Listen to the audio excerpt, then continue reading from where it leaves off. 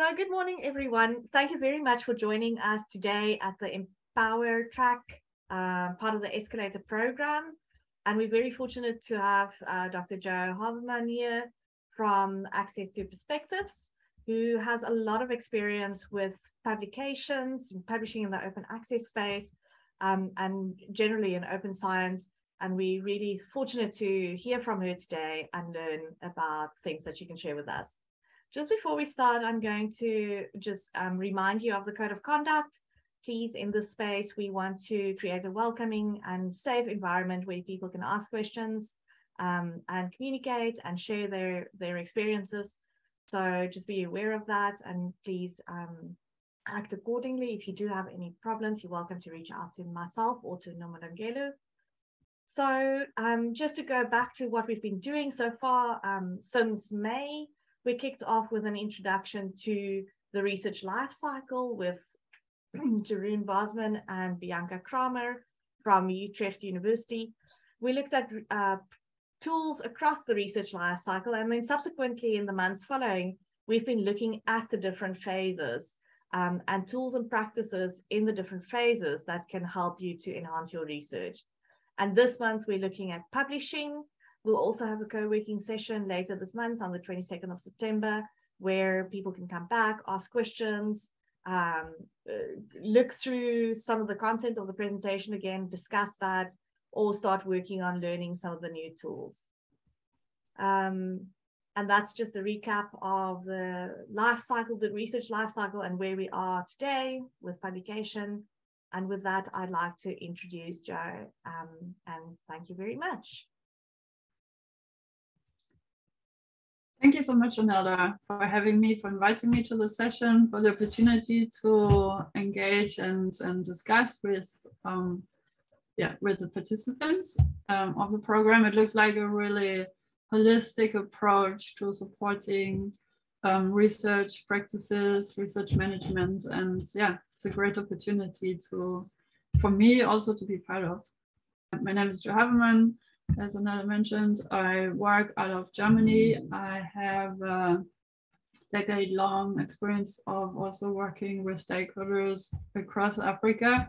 I'm co-managing a publishing platform or um, co-founded and, and managing a, the publishing platform, an open access platform, AfricArXiv, which, which I will also talk about here today um, is a which started as a preprint repository, and we come to talk about what preprints are, the use and benefits, and also limitations would be great to be discussed.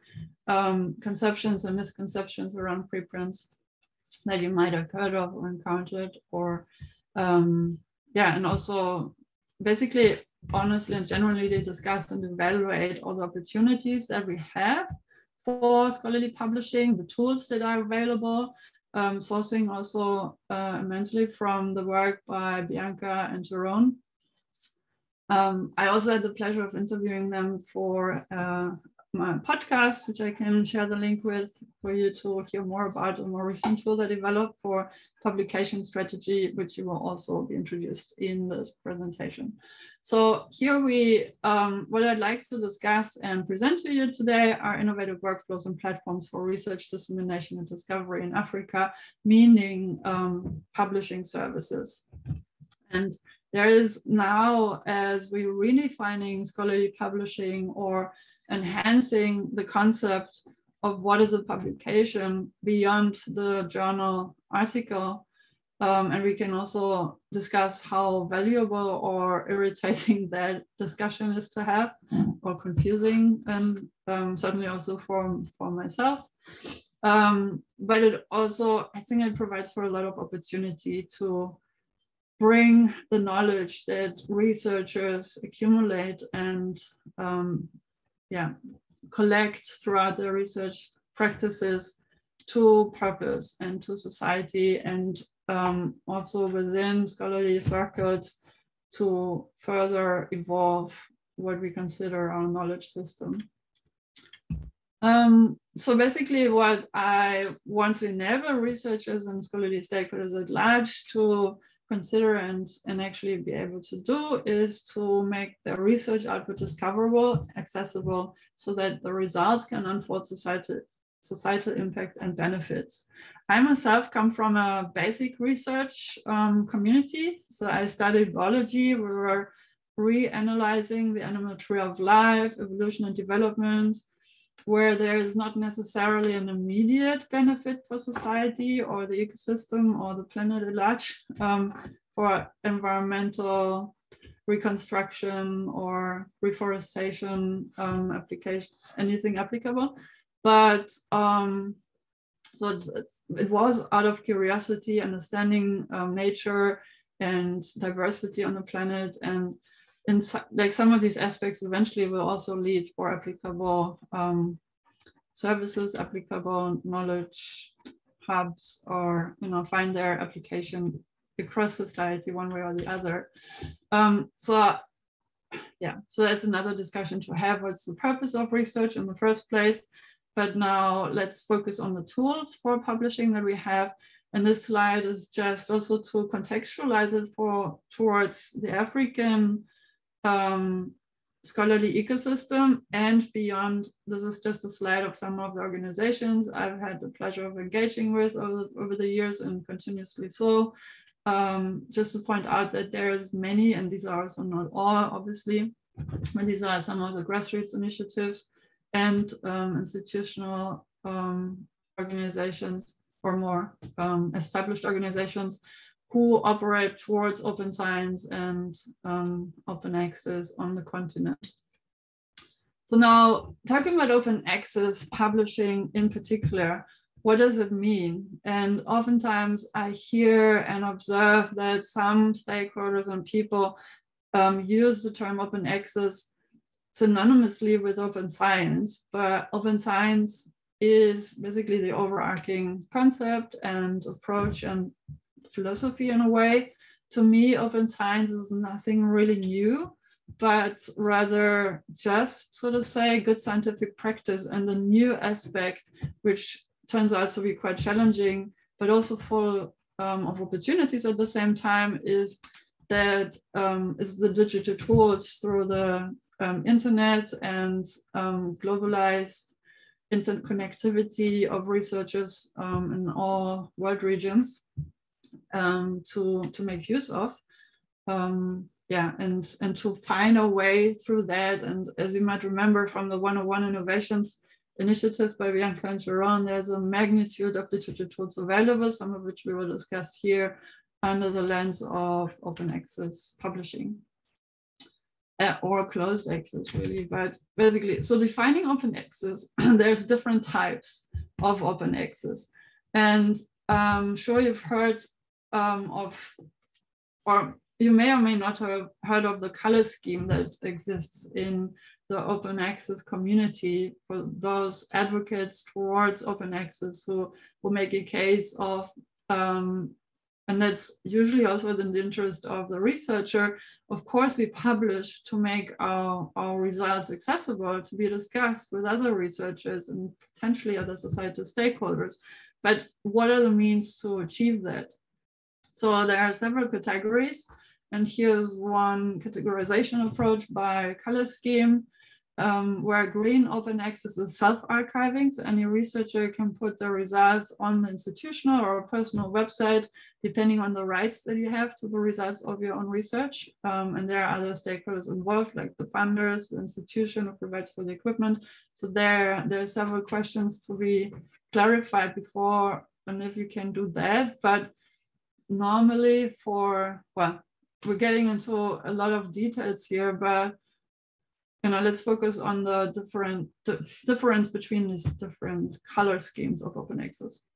So green means self-archiving either on your own website, on the institutional website, or, and this is what I would highly recommend, using a, a standardized um, established repository, either institutional one or, well, they are all institutional in one way or the other. So they can be at your host institution, at the university where you work, or scholarly institution independent and provided by um, an independence um, vendor or organization who um, accepts works not only from staff from a certain institution, but from any researcher around the world. And these are now known as preprint repositories, one of which is AfricArXiv, or we're basically working with several repository systems. Um, and another one you might have heard about is bioRxiv, SocArXiv. So there are region as well as um, discipline specific repositories. Uh, we get to that in more detail also later. Gold open access is what's um, most widely spread currently because it's publisher driven.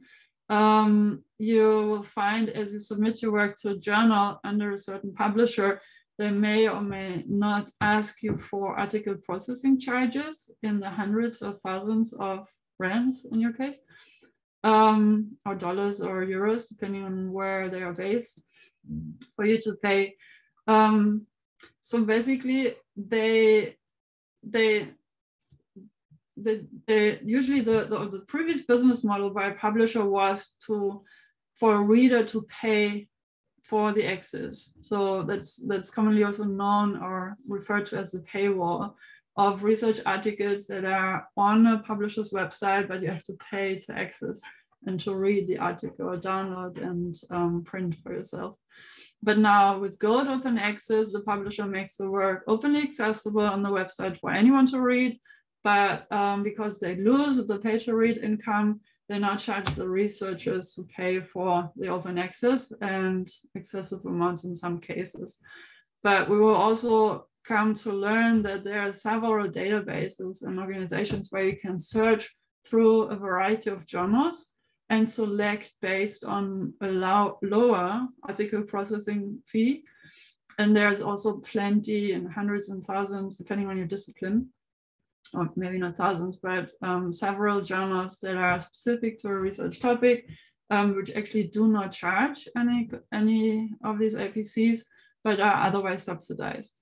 The bottom line is to publishing, there's a certain cost and expense involved, which needs to be covered. The question is, should the researcher have to cover it or the reader, or are there other stakeholders who can find the budget to cover for these costs? Um, and there's this is why we're having these confusing discussions about open access and misconceptions that open access is always expensive. That's not necessarily the case. Actually, that's least often the case. Um, it's just that um, the the most known and renowned journals they charge excessive amounts, and this is where everybody's incentivized towards publishing there, and this is where the the conception um, established itself so tremendously. Um, so diamond or platinum open access is where a journal is subsidized by their host institution or by external funding. So the reader and the author of, an, of a research article or a data set do not have to pay for the processing towards publishing. And then there's hybrid journals um, who offer both models. Um, gold open access and paywall. Like they have both pay to read and pay to publish as a as a route. Um, and then what's sometimes referred to as black or unauthorized open access is, for example, Sci-Hub, where there's large scale copying, um, often grounded on moral standards, but factually illegal because contracts exist that prevent that from happening. Um, so I leave the decision to you if you find this acceptable or not. Um, the fact is, um, there are certain costs involved. The question is, what is a reasonable price tag to cover the cost and also other other price points? And, and that's another discussion to have, which will expand um, way beyond the scope of today's session. Um, so yeah, and then there are concepts like fair and gratis.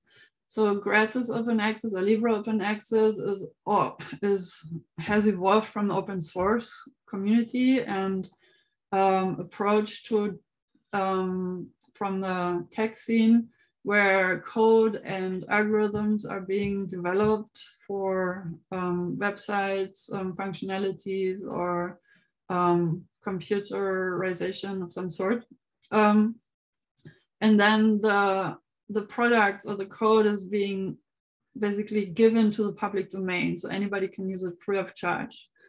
Um, so gratis and libre are two different things. So one is um, it's free to use with no costs, and the other one is there are costs involved, basically like a donation by the producer, and the other one has costs involved, but um, okay, so it's I think I'm I, I, leave it here. So there's two different concepts, and I'm actually not quite sure about the difference. Sometimes I am, but I would have to look it up again. Um, the bottom line is that you know costs are involved in each step of the workflow for any stakeholders involved, and it has come to a point where the researchers have to, or also libraries, university libraries, and other institutional stakeholders have to carry much of the cost and expenditure. Um, where there might be other opportunities to co um, co-finance and to basically uh, democratize the the financing scheme. Um, this has led to a dilemma that those institutions who have a lot of resources and a lot of funding can more or less easily afford to pay such services. Some prestigious and wealthy institutions have decided still not to because they find it um, uh, morally um, questionable um, or in individuals at certain institutions. And I just want to bring to attention that now also UNESCO um, is in the middle of a process to, well, they have already published recommendations on open science across the research workflow, as you've also seen um, presented by another and based on the one-on-one innovations project um, but also feeding into the SDGs, the Sustainable Development Goals. And um, and here the the mandate and the idea is to make science more accessible, inclusive, and equitable for the benefit of all through publishing and also other um, capacity building activities and democratizing and providing equity and equality towards all scholarly stakeholders to achieve that every research institution, every researcher around the world has um, similar, if not the same, opportunities to practice research, to consume research outcomes, and to contribute um, so that we can tackle um, and eventually achieve the SDGs. Um, and much of that is based on values and principles, many of which you're probably familiar with because the institution might have similar values and principle systems um, in their policies, um, like equity and fairness, collective benefits, so asking what is this research um, useful for, who benefits, and to what extent, um, what um, transparency, scrutiny, equality of opportunities, sustainability, flexibility are all nice words. And they, yeah, they're just important to keep in mind as we talk about research at large and also eventually um, publishing as we make the research achievements available to a wider audience. Um, so yeah, so here again is another um, diagram that the UNESCO team uh, designed, um, showcasing the different components of open science with open science infrastructures, societal engagements, open dialogue with other knowledge systems like also indigenous systems, um, and open sci scientific knowledge where you find publishing as one of them. And then the open log indicates also open access um, because that's what basically we want to achieve. Um, and open science and open access does not necessarily mean that, well, for open access, yes. So the idea is to have as much information about a research project openly accessible. For sure, the manuscript, so that anybody can benefit from the learnings that the researchers made, but also um, like the underlying data set, some of these might actually be necessary to kept close because they contain sensitive data. And that is also one of the biggest fears as we talk about open access and open science. It doesn't mean that everything has to go online with no proofing, no scrutiny, but it's basically there's also a level of responsibility and assessment of when is um, a research outcome ready to be released to the public to unfold its potentials to cure disease or to inform stakeholders about a certain topic. And now so please feel free to also interrupt me at any point when you agree or disagree or want to um, add to whatever I say here. Um, trying to also when I miss something in the chat, feel free to um, point me towards that. But I'd like to now introduce preprint repositories and just make a statement that they have now in, evolved in the past five or so years to be an integral part of the open scholarly publishing workflow. Um, still heavily underutilized, um, quite well embraced by certain research communities like the biosciences, well established in physics and um, IT. I will come to that. And um, there's potential for more usage and more utilization of sharing preprints um, um, along with journal publishing because we know the incentives are real. Um, some of us need to publish in certain journals to advance our careers, um, which doesn't mean that you cannot do both. Um, it's just a matter of awareness how to do both. And is it like an, a lot of extra work? And the short answer is no, it's really not. It's, it can be uh, seamless um, like uh, just one additional step in the process and everybody actually benefits. So ASAPbio is an organization which focuses on biosciences, but also looked into preprints and preprint, um, they've built up info hub about preprints and different preprint repositories on their website, which are cross-cutting across all disciplines. And their definition is a scientific manuscript that is uploaded by the authors to a public server. And usually that version of the manuscript is also what's deemed ready to be published in a journal by the research team or the individual researcher who, who wrote it. And at that point, um, it usually already has undergone a level of peer review because um, normally researchers would give it to read and seek feedback from immediate colleagues. And you can, of course, ask if that's not biased. Um, but the whole discussion about the quality of peer review and scrutiny in that activity and how it's being compensated also monetarily or not, well, usually not, um, you know, it's a whole other discussion to have. But also, like, there's now a norm to label preprints to what they are, with a disclaimer that this has this work has not necessarily been um, peer reviewed, meaning it might not have gone undergone formal peer review, but as we will also see a few slides down the line, there are now community-based and preprint-based peer review organizations and services available. Um, but these then also indicate, and you can then see commentaries and actual peer review reports, open access, openly accessible, so that not only researchers, but also journalists and policymakers, policymakers can, can basically see what other researchers think about a work presented as a preprint. Um, but we're in the middle of the evolutionary step to establish these. There's a few um, examples which have um, very promising um, workflows and also easy to implement. And I just um, would like here also to encourage you to look around these and we will come to see a few examples in the slides forthcoming.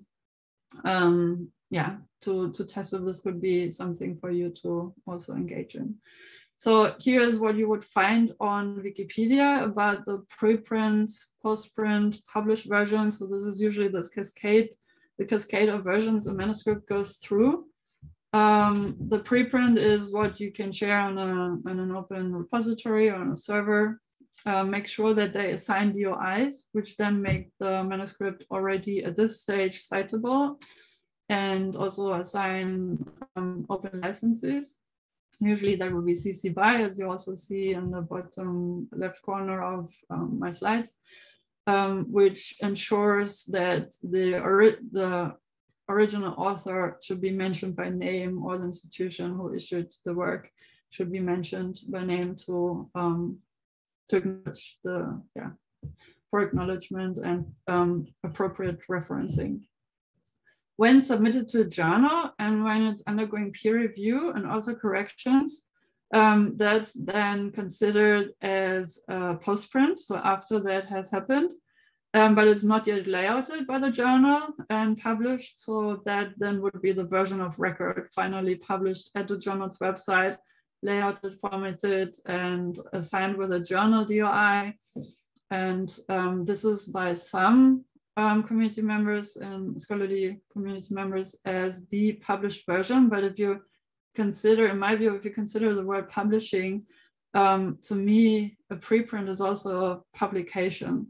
But this is an ongoing debate, and um, yeah, there's no standard in what's considered as published or not. It's just a, a variety of publishing modes and venues, I would say.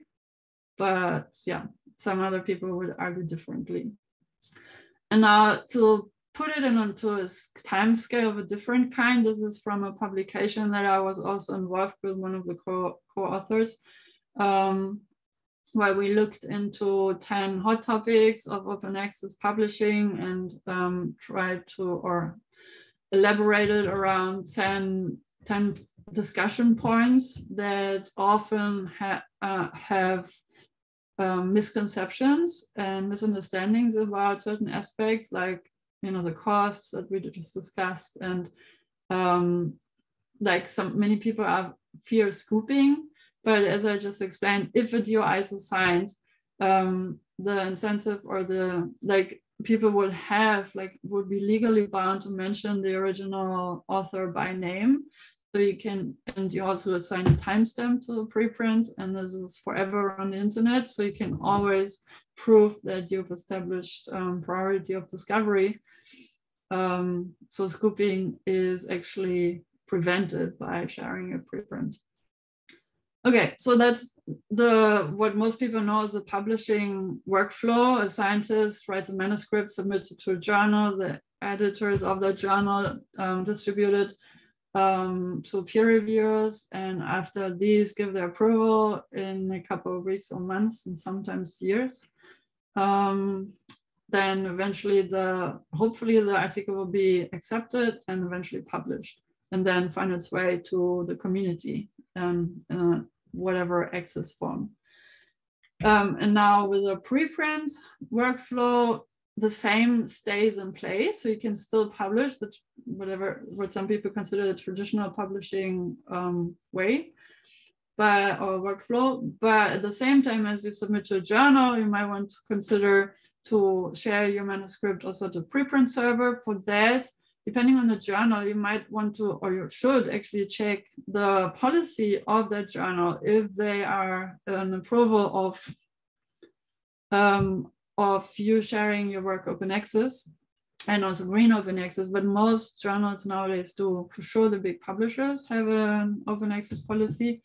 Um, not all journals within, but um, like 80, like more than 80% of the journals on our planet um, actually encourage you to share a preprint because it allows also their editors and their reviewers to assess these public commenting that's then possible through the sharing of the preprint and consider it for the decision making and curation decisions if the manuscript fits into their scope. Um, so everybody wins really. And then you can already at this point share your work with the funders, with other stakeholders, with colleagues um, for in-depth discussion on your work. And you don't have to wait for the next conference to do that. Um, and you can you know, divert other projects from it as the reviewers do the work that and uh, in the time that they need. And you might also then have an opportunity to to um, rework your manuscript based on the comments that you receive and then resubmit an improved version. And that's also an interest again of the publisher. You can signal to them, we got valuable feedback to our preprint can we resubmit? And then if they have um, a good connection or basically if, they're in a short um, line of communication with the reviewers, then those people would certainly also um, um appreciate that. Uh, so yeah, just a few kind of points to consider um, and the differences or how the two workflows complement each other. Um, so yeah, so here's an example of Zenodo as one of the most or the better known um, repository systems. Zenodo accepts not only um, written manuscripts, but also data sets, images, movies. Um, depending on your discipline, you might create a whole portfolio of different formats of research output, all of which can be archived and stored and make citable through Zenodo. You see that there's also a different, um, a variety of access rights, open access, closed access. So there you actually only see, as you would in a paper journal, you see the title, the authors, and the, the abstract of the work. Um, and the closed access might all also have reasons. Um, so yeah, and then there's restricted access um, where some of the data is being disclosed and others not, and embargoed. So you can also put a timeline onto your sub, sub, Zenodo submission and indicate um, the funded says we should keep it disclosed uh, or uh, closed until, I don't know, March next year. And after that, the Zenodo will make the work open access. Um, so yeah, um, and then just another example of how established and like the, the lifetime of a preprint repository like arXiv.org has been around since um, 1991.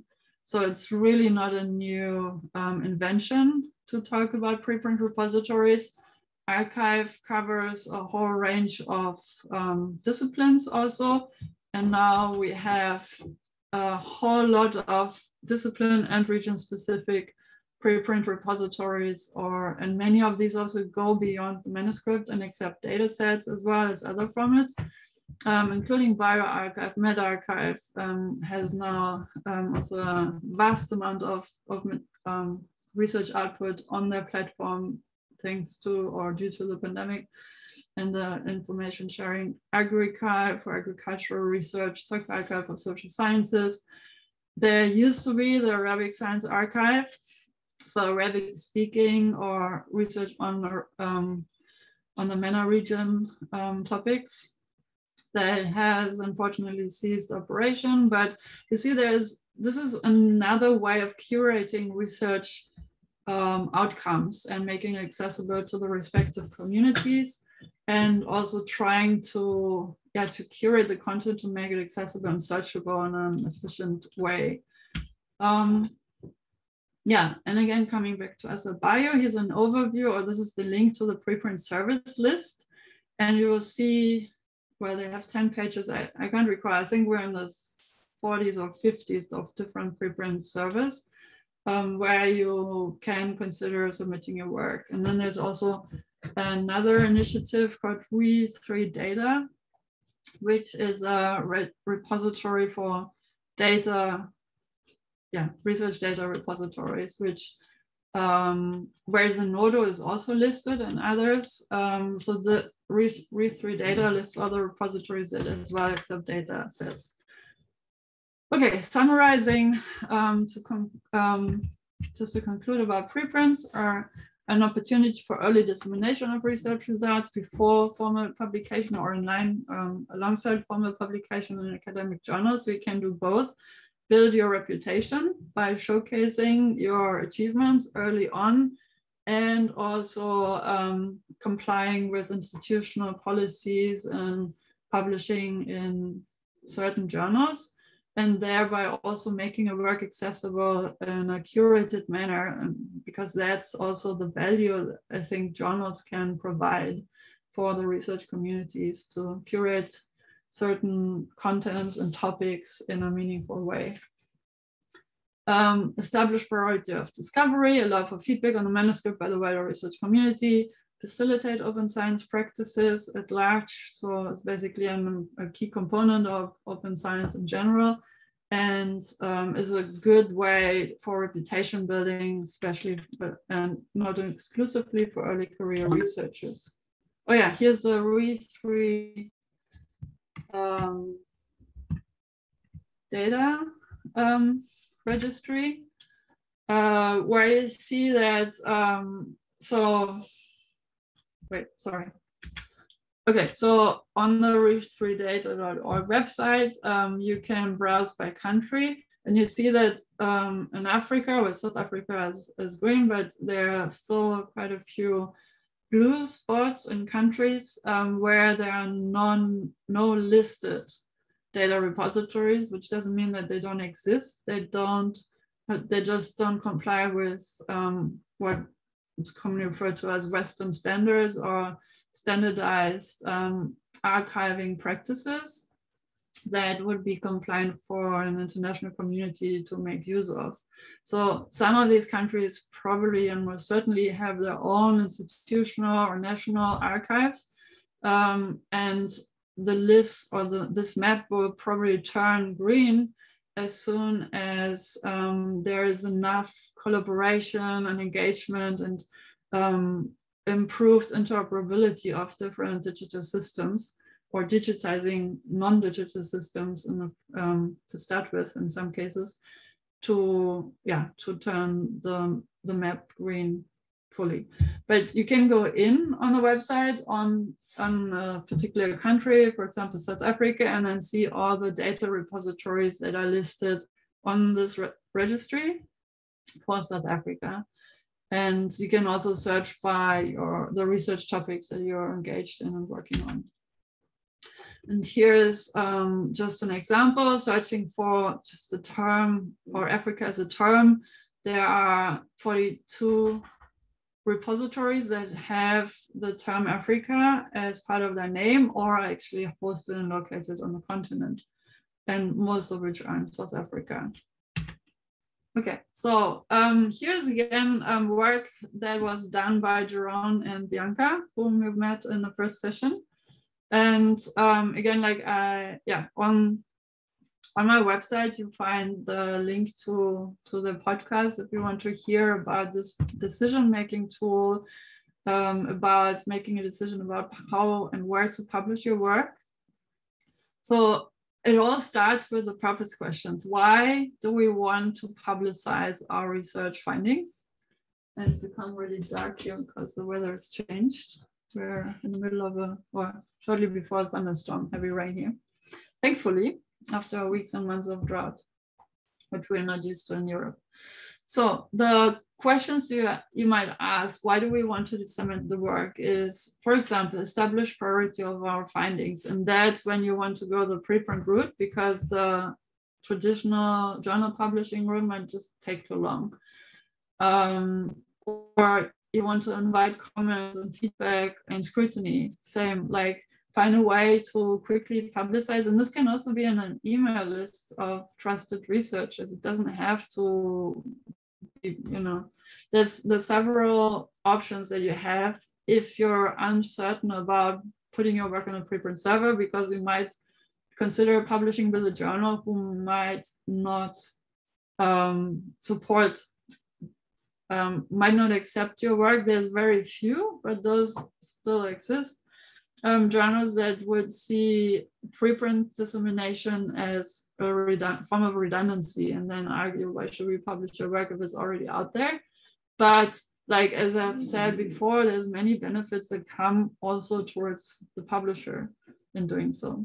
It's just also in that case, in those cases, a level of awareness of these benefits and that that's also helping transparency and um, collaboration um, amongst researchers, which we all also journalists want to serve for or had a mandate to serve for. Um, we want to archive the evidence, so that's not necessarily for calls, does not necessarily call for open access. Um, so basically what so this is basically uh, an active Excel sheet. So depending on, you can actually click through if you go to not my website, but uh, the Google spreadsheet that where this is published. Um, then you can tick these boxes manually yourself um, and then find suggestions of tick boxes in the subsequent sections or what are you publishing, when, how, and where and you can change any of these ticks, tick, ticked boxes. So you can untick and tick others that are not ticked. and thereby, so basically, um, but this then gives you a hint of where you should publish your work. Um, or, you know, what's recommended, what's a recommended venue for you to disseminate your work for the wider or not so wide community to, to review. Um, other, so basically talking about the journal selection strategy now that we've um, developed priority of or established priority of discovery or not. Um, but when it comes to making an informed selection for a journal, there's also, um, first of all, but here in point number three, the website Think Check Submit um, to go going through a checklist of what like knowing about a journal like what factors you might consider if they not only comply with the scope of your research and vice versa so you would stand of course a higher chance of getting accepted if the scope of the journal meets the scope of your research. That's like the no-brainer normally. It's the first um, necessity to comply with. But also what do they charge? Um, are they an established journal? Do they actually provide for rigorous peer review? Do they have statements on their website about um, what the peer review process looks like and how long it usually takes for them to inform you about when you might get a response about acceptance or rejections or anything else um, that might be of your interest. Um, so basically, um, these are there's several more um, things to consider that you can check also on the journal's website. Um, also, if you're concerned about predatory publishing, there's also ways to identify predatory journals, whatever you consider a predatory journal is. And this is an, also an unfinished discussion to have but um, if the journal has a physical address with um, the team or the editors presented by name and possibly also with a picture, but not necessarily so. Um, if the journals are listed in indexing services, like for example, the directory of open access journals, DOAJ, which exclusively lists open access journals, and there's way more than you probably consider uh, or think. Um, and then there's also other indexing systems like Dimensions and the lens, and all of these journals have undergone a certain level of scrutiny testing. Um, so therefore are good journals or considered good and not predatory um, the other question, which some of us um, deem as a form of predatory, predatory is the excessive cost, but that's again another discussion to have. So yeah, referring, so if you want to make a decision of yes, we want to only publish in, a, in an open access journal and DOAJ also lists gold open access, so um, but not any form of closed um, journals. It might also list hybrid journals, but you will on this registry find journals that provide for open access publishing. And you also get a preview of the usual costs that they charge for you to submit, if any. So many of these open access journals also don't incur any costs for you. So these are basically the two reference points for you to consider and to search for a journal for you to publish in after you have um, defined and set the scope of your research, which might also divert what you publish, might also exceed your original research topic or be a very specific niche in, in a broader research topic. And therefore you might search for a less or more specific journal to publish in or topic specific.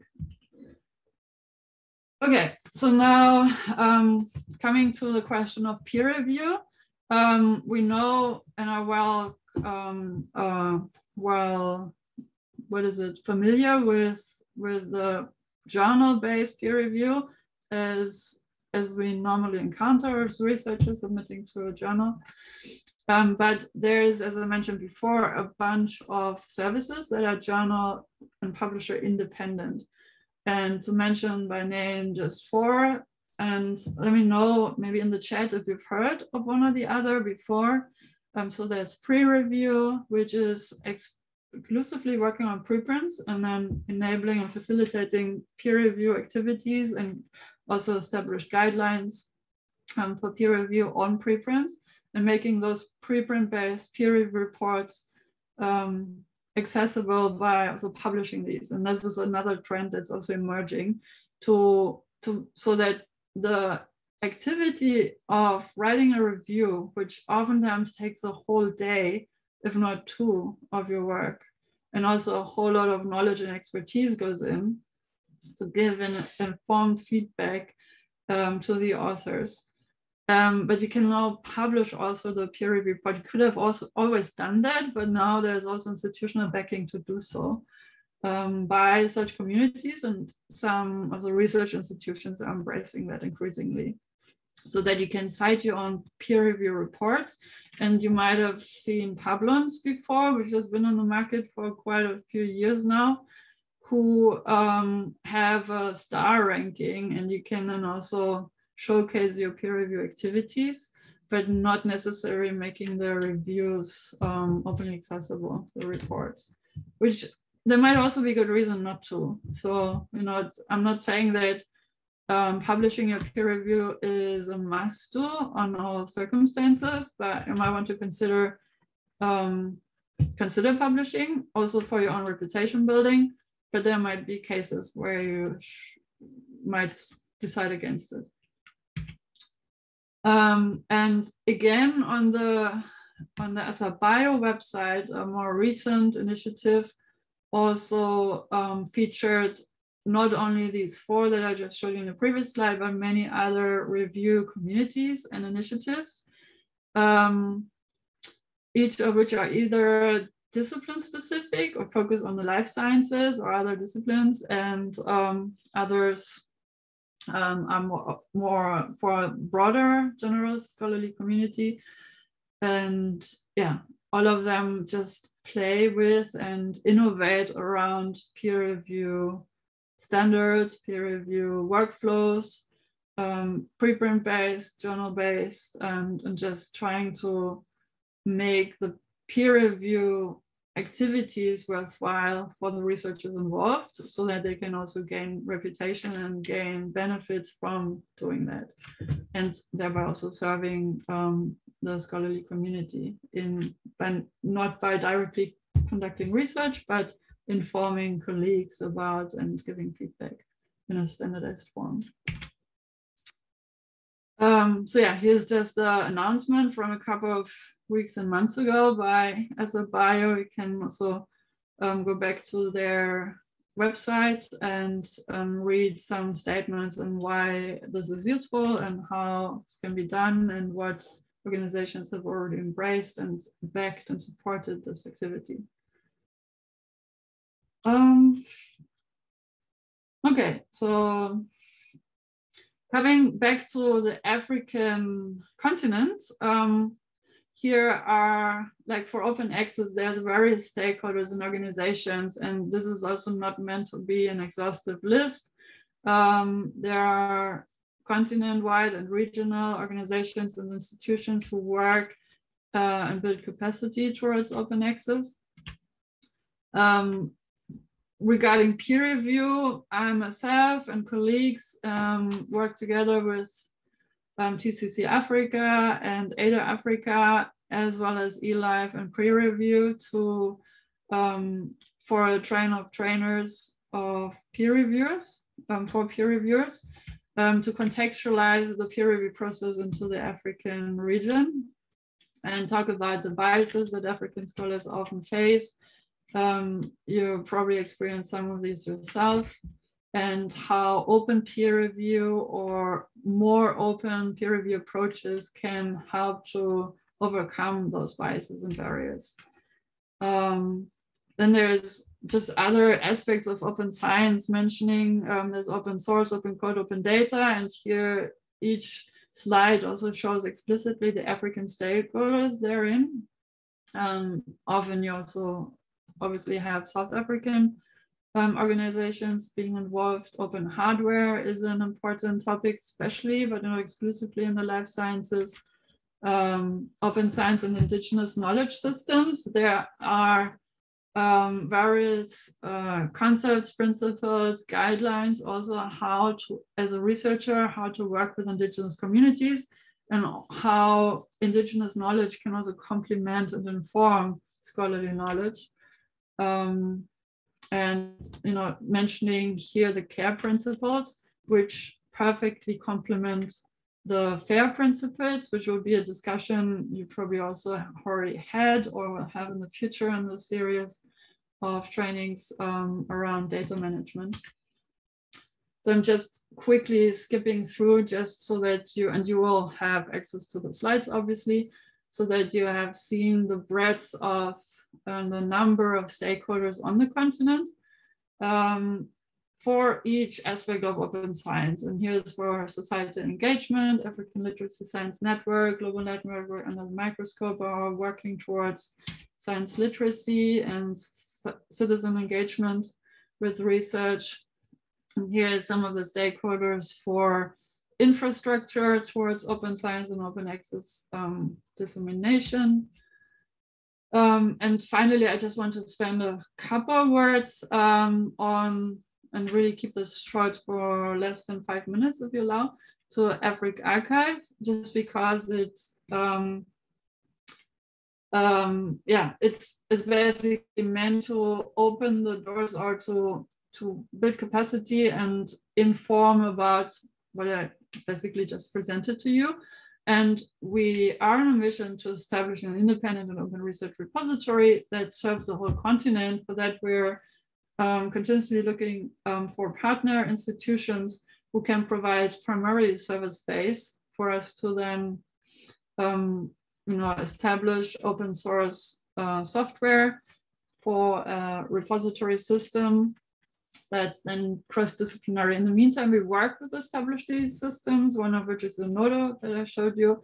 Others are Figshare, um, OSF, the Open Science Framework, um, Qeios, PubPub, and I always miss one. I think they will come. And the purpose of us doing that is to once um, overcome the language barriers between Francophone, Lusophone, Anglophone, um, but also opening scholarly uh, archiving systems towards um, traditional African languages or regional African languages um, we want to increase the visibility of African scholarly output internationally and also across the continent for, to, for researchers um, amongst, um, yeah, uh, across the continent. Uh, yeah, and integrate um, African researchers interna into international consortia and enabling them to be active stakeholders um, and thereby also increase opportunities for funding. So these are the six now of Science Open, I think I didn't mention um, previously. These are the six systems and organizations we work with. Some are for profit, others non-profit. Um, for us, this is just a legal um, term or legal kind of, um, yeah, like for us, it's more important how open the system is per se, how functional it is and efficient in allowing us and the researchers to establish um, what we are on a mission for, to establish um, discoverability by submitting through us. Um, like I said, or through AfricArXiv, um, we work with each of these systems is established in a standardized ecosystem with assignment of DOIs. You can log in with your ORCID ID. Um, there's various organizations involved also assigning ROR identifiers, meaning institutional identifiers, so that institutions can also work towards reputation building and visibility. DOIs are assigned um, through Crossref and DataCite, um, like one or the other and eventually like we thereby also have or we also have activities in place where we can now measure the actual research output from and across africa. Um, not only through what comes in as submissions through AfricArXiv and which we can then nicely compartmentalize on the other on the existing systems, but we've also had a mapping exercise where we dig into accessible data to map the institutional repositories across the continent, which might not yet be picked up by the standardized digital systems and databases. Um, so yeah, so there are benefits for any stakeholders, librarians, researchers, and publishers alike in working with us. Um, again, and um, various partners. We work with an interesting um, project with which we work on also with three mostly South African, but operating across the continent organization, ScienceLink, SD Communications, and Masakhane.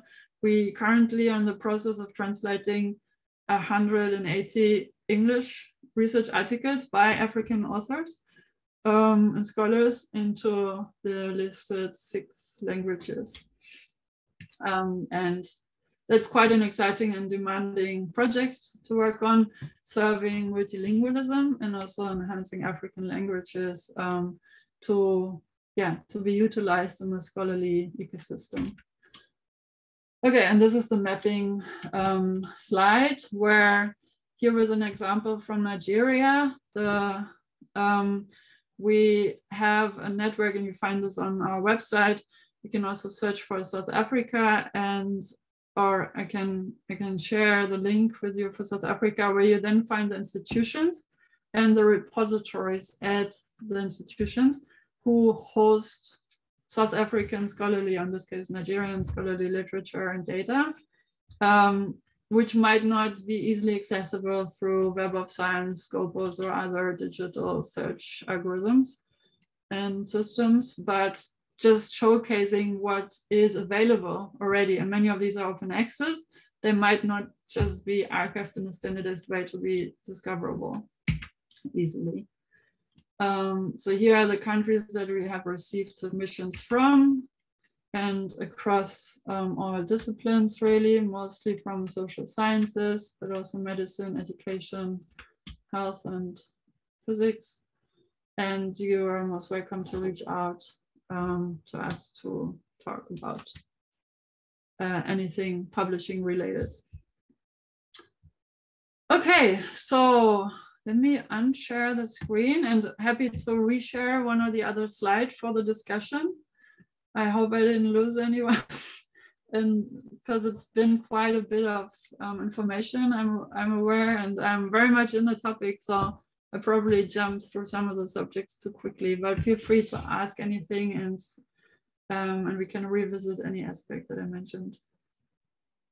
Thank you, Jo. That was an amazing presentation with so much information and so much um, really contemporary um, information about things that people are thinking about, people are struggling with, people are maybe not aware of. So thank you very, very much. I think we can really unpack this presentation and, and talk through so many issues here, starting from open access to, um, uh, as Marissa was pointing out, um, the preprint situation, what universities understand under preprints, how they allow or discourage it, why they do that. Um, moving on to um, all the other topics that you covered. So thank you very, very much. This was really, really good talk.